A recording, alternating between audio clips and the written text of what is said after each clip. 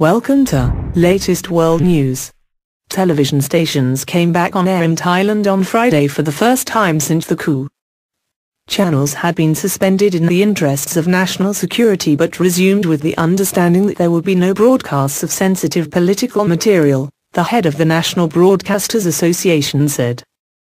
Thai PBS, which had defied junta orders and broadcast news through its YouTube channel, has not restarted broadcasts. Reports said the deputy director of the station was taken away after the channel was closed down by soldiers. Meanwhile, anti-coup demonstrators gathered in Bangkok, defying a junta decree that prohibits public gatherings of more than five people.